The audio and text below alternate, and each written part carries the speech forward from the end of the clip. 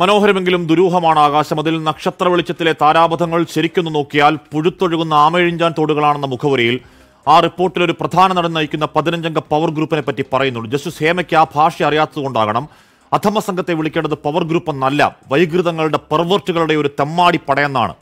അത് പുറത്തു വരാതിരിക്കാൻ കാട്ടിയ നെറുകെട്ട നീക്കങ്ങൾക്കൊടുവിൽ പ്രധാന പേജുകൾ വെട്ടിക്കളഞ്ഞ റിപ്പോർട്ടാണ് കേരളം കണ്ടതെങ്കിലും വെള്ളയടിച്ച കുഴിമാടങ്ങളെപ്പറ്റി ആ പുറത്തു വന്ന പേജുകളിൽ സവിസ്തരം പറയുന്നത് വെള്ളി വെളിച്ചത്തിൽ നാണമില്ലാതെ കസേരയിട്ട് വാഴുന്ന സ്ത്രീവിരുദ്ധ തമ്പ്രാക്കന്മാരെ പറ്റിയാണ്.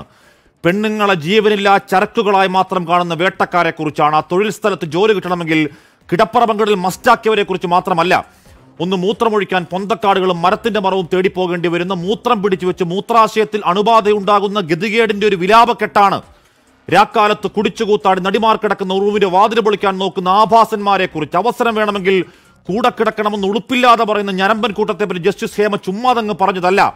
വാട്സാപ്പ് ചാറ്റ് അടക്കം ഓഡിയോ ക്ലിപ്പ് അടക്കം തെളിവ് സഹിതമാണ് അതിന്റെ മുകളിൽ ഒന്നും രണ്ടുമല്ല അഞ്ചു വർഷത്തോളം പൂത്തു പൂതിച്ചിരുന്ന സർക്കാർ ഇപ്പോൾ എഴുന്നള്ളിക്കുന്ന എന്തോ കോൺക്ലേവ് എന്നാണ് ഏട്ടന്മാരെയും പേട്ടന്മാരെയും ആണൂറ്റ സംഘടനാ നേതാക്കളെയും വിളിച്ചങ്ങ് ഉദ്ഘാടിക്കണം സാംസ്കാരിക മന്ത്രി. ആ വെള്ളയടിക്കൽ നാടകം അങ്ങ് ഗംഭീരമാകട്ടെ.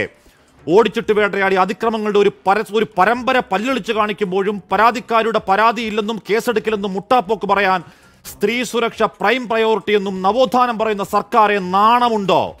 ഏത് വിഷയത്തിലും ആഞ്ഞടിക്കുന്ന രോഷക്കാരൻ പുത്തൻ പുതിയ കേന്ദ്രമന്ത്രിക്കും പ്രതികരണം പഞ്ചസാര പാലുമുട്ടായി പരുവത്തിലാണെങ്കിൽ അധോ സംഘത്തിന് രാഷ്ട്രീയാതീത കരുത്താണ്. ഏത് തമ്പ്രാക്കന്മാരാണെങ്കിലും അത് പൊളിച്ചു കൊടുക്കൽ കേരളത്തിന്റെ ചുമതല.